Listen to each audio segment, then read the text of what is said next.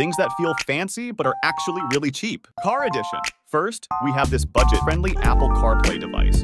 It's a lot cheaper than getting your whole car radio replaced. It lets you use GPS navigation, make calls, send messages, and even listen to music with your car's speakers. Just mount it to your dash, plug it into your power outlet, and pair it with your phone.